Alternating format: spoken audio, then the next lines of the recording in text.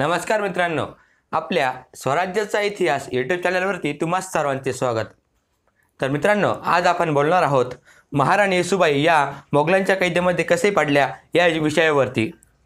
सुरुवातीला महाराणी येसुबाई यांच्याबद्दल थोडीफार माहिती आपण जाणून घेऊया. मित्रांनो आपले दुर्भाग्य फार मोठे की महाराणी येसुबाई यांच्याबद्दल इतिहासामध्ये फारसं लिखाण झालेलं नाही. त्यांच्या चरित्रावरती फारसं लिखाण केले गेलेलं नाही. त्याच्यावरती फारसा प्रकाश पाडला गेलेला नाही. महाराणी येसुबाई यांची कामगिरी यांचे कर्तृत्व फार मोठे होते. त्या मानाने इतिहासामध्ये त्याच्या नोंदी फार कमी आढळतात.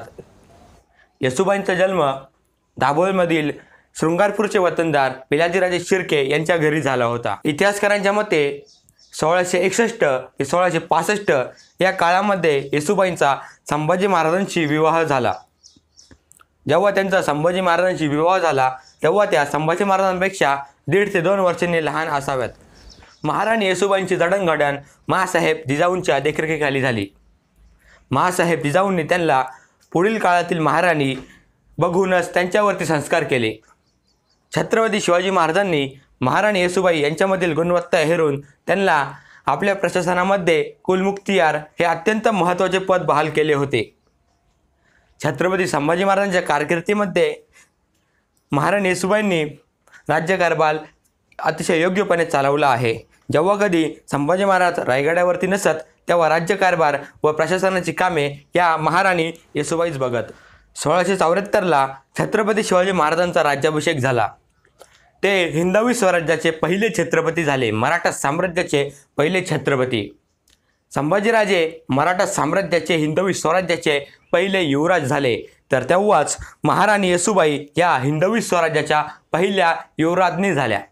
पुढे शिवाजी महाराजांच्या मृत्यूनंतर संभाजी महाराजांविरुद्ध अनेक कटक कारस्थाने रचली गेली. संभाजी महाराजांना गादीपासून लांब ठेवण्याचे अतोनात प्रयत्न केले गेले.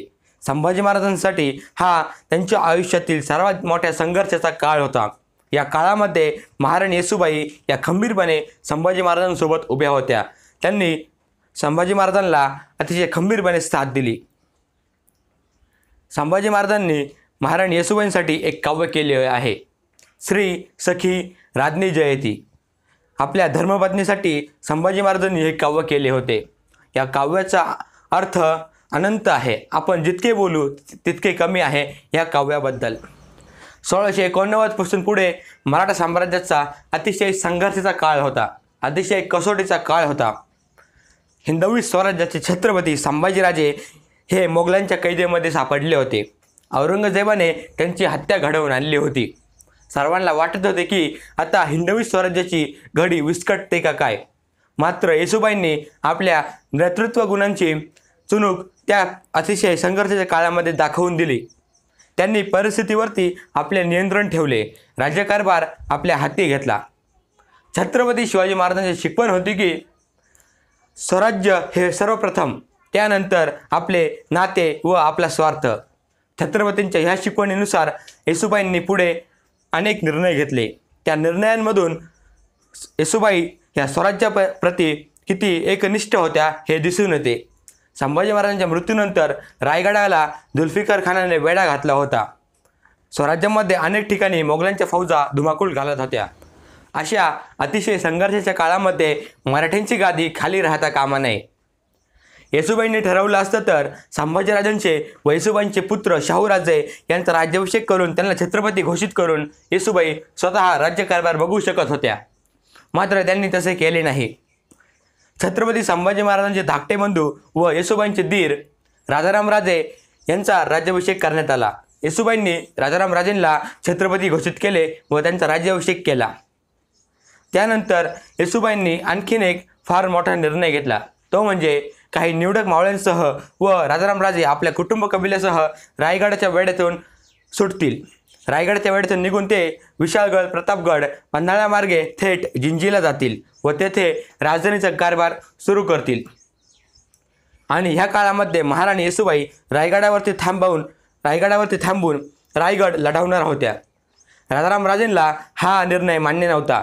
राजाराम राजेंच्या मते येसुबाईंनी राजाराम राजेंच्या मते येसुबाईंनी रायगडाच्या वेळेतून बाहेर पाडावे व राजाराम रा राजाराम राजे स्वतः रायगड लढवतील. मात्र येसुबाईंच्या मते हे स्वराज्य जर टिकवायचे असेल तर छत्रपती वाचणे हे सर्वप्रथम होते. असेही मराठ्यांची त्याच्यामध्ये म्हटलेच आहे की लाख मेले तरी चालतील पण लाखांचा पोशिंदा जागलाच पाहिजे. या शेवटी महाराणी येसुबाई यांनी राजाराम राजांची समजूत काढली व राजाराम राजे रायगड सोडायला तयार झाले. त्यांनी आपल्या कुटुंब कबिल्यासह व काही निवडक मावळ्यांसह रायगड सोडला व ते- ते जिंजीचा प्रवास करू लागले.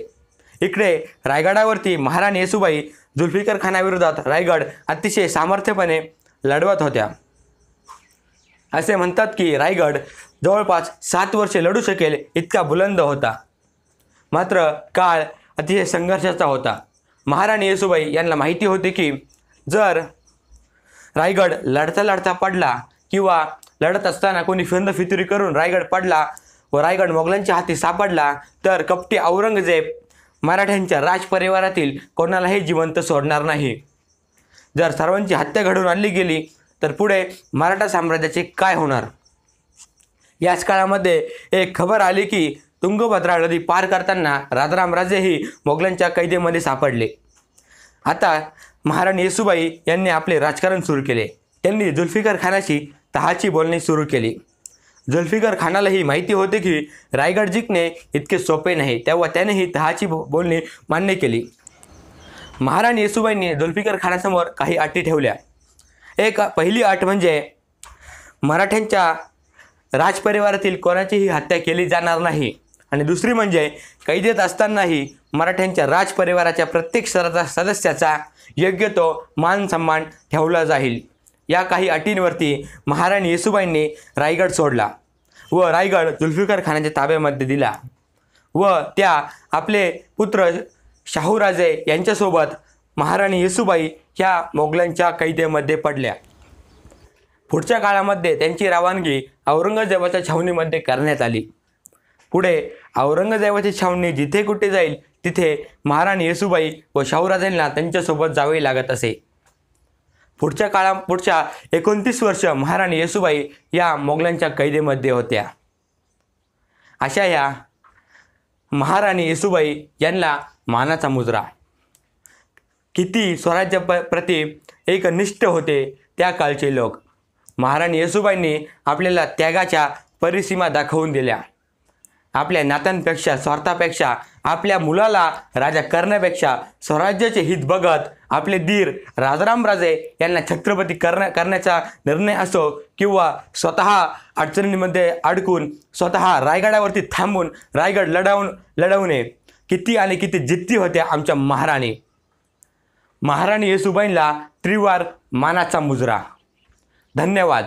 जय जिजाऊ जय शिवराय जय शंभूराजे.